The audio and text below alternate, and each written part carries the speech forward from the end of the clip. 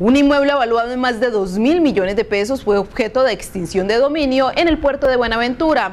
En dicho local se encontraron una tonelada de clorhidrato de cocaína y sustancias químicas para el procesamiento de este narcótico.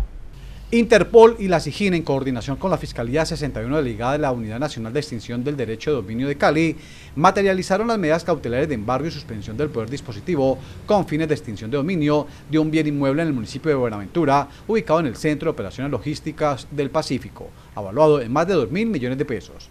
Este procedimiento se llevó a cabo como aporte a la operación Himalaya, donde se afecta la dinámica criminal del grupo delincuencial organizada La Local. Una bodega que había sido utilizada en el año 2017 para esconder más de una tonelada de cocaína que también en su época fue incautada por las autoridades. Seguimos trabajando decididamente contra el narcotráfico.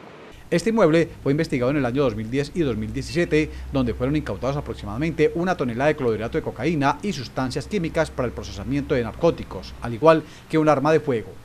Con este ya son ocho extinciones de dominio realizados en el presente año en los municipios de Tuluá, Palmira, Buga y ahora Buenaventura.